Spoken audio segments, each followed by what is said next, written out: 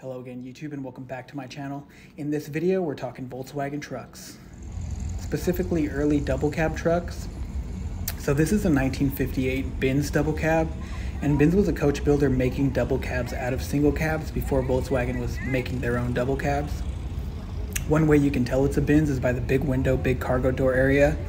The whole cargo area in a Binz is particularly special um, because they were coach built and there's a lot of little differences from a VW double cab that make them particularly special. So here you can see the body line where the single cab was, where they extended the cargo area and shortened the gates from single cab gates. Pretty different. Here we have that same double cab parked next to a 1959 double cab. So sweet. You guys want a beer or something? Yeah. No, we're good. Thank you. Thank you. And so you can see that big window area, cargo area, as opposed to the shortened one.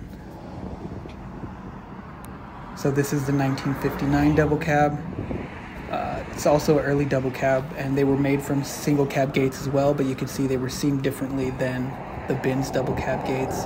The cargo section is smaller. This uses a cargo door from a bus, so uh, significantly shorter. Similar sized cargo area, just the door and window are different on each side.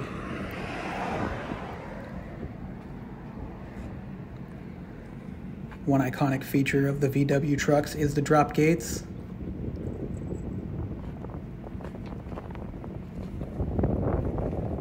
So here you can get a better look at the side, smaller cargo area, cargo door section, and the different section gates.